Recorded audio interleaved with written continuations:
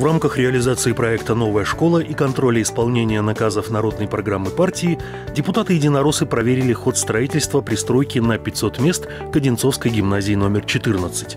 Сейчас на объекте задействованы почти 60 человек и 5 единиц техники.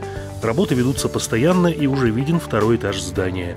В новом четырехэтажном корпусе предусмотрены просторные классы, лаборатории, мастерские, методические кабинеты, актовые спортивные залы, библиотека, а также необходимые административные помещения.